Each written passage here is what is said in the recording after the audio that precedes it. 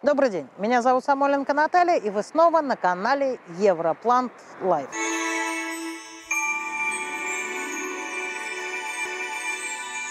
Иногда наши подписчики упрекают нас в том, что мы много внимания уделяем растениям с других континентов. Мол, что, разве своих мало? Конечно, не мало. Но так уж получилось, что к нашим растениям мы настолько привыкли, что они у нас больше не восхищают. Но когда вы в последний раз восхищались одуванчиком, подорожником, елью и рябиной обыкновенной, черещатым дубом, волчьеягодником. А теперь вспомните, что большинство растений, к которым мы привыкли, родом не из этих мест. Гортензии, пионы, лилии, сирени, голубые сербские ели, горные румелийские сосны – все это интродуценты. Растения, природный ареал которых находится далеко за пределами Ленинградской и Московской области. И даже герой этого выпуска – рябинник рябинолистный или по-другому спирея рябинолистная, родом не из Ленинградской области, хоть и занимает значительную часть подлеска. В природе он растет на пустырях и на заброшенных землях, по обочинам дорог и на опушках леса. И, как правило, это неплодородные песчаные почвы.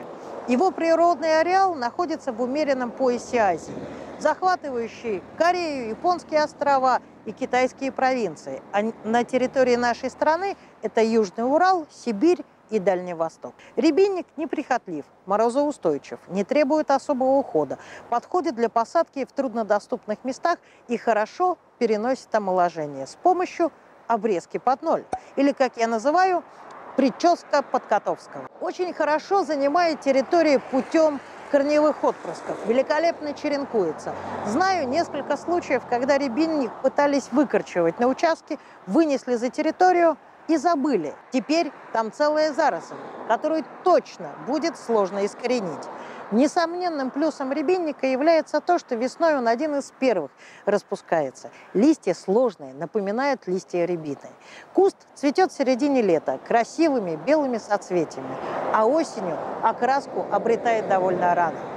После опадания листвы куст продолжает украшать созревшие коричневые плоды. Единственным требованием, которое предъявляет рябинник к месту произрастания, это влажность почвы. Если вы не хотите, чтобы рябинник уже к августу потерял декоративность, то почва должна быть влажной. Не пустыней и не болотом. Несмотря на то, что рябинник прекрасно подходит для закрепления склонов, имеет великолепную осеннюю окраску, подходит для нестриженных изгородей и является прекрасным медоносом, но использует его исключительно при оформлении дикой лесной части участка. Мы так привыкли к нему, что не замечаем его красоты и относим к типу растения сорняк канавный. Мне стыдно признаться, но и мое отношение к нему долгое время было именно такое. Рябинник сорняк канавный. Я не понимала восторженных описаний рябинника на зарубежных сайтах, тем более, когда его предлагали рассмотреть как растение для контейнерного озеленения.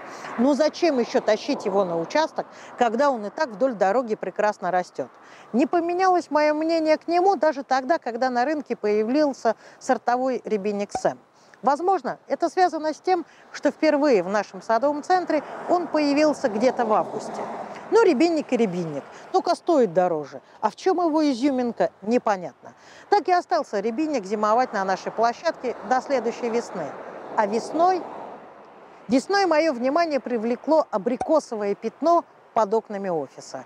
Зелень еще только-только начала появляться, весна еще не совсем вошла в свои права, а рябинник уже стоял с листьями персикового цвета. Сэм – прекрасное украшение вашего участка. Весенний-летний период совсем молодой прирост персиковый, далее желтый. И к июлю Сэм ничем не отличается от своего дикого родственника. Ну, разве только более компактной кроной. Я по-прежнему считаю, что для маленьких участков и контейнерного озеленения рябинник не очень подходит. Но если у вас оставлен кусочек леса, то лучшего растения желать и нельзя. На этом все. До скорых встреч. Оставляйте комментарии и не забывайте подписываться на канал. Удачи!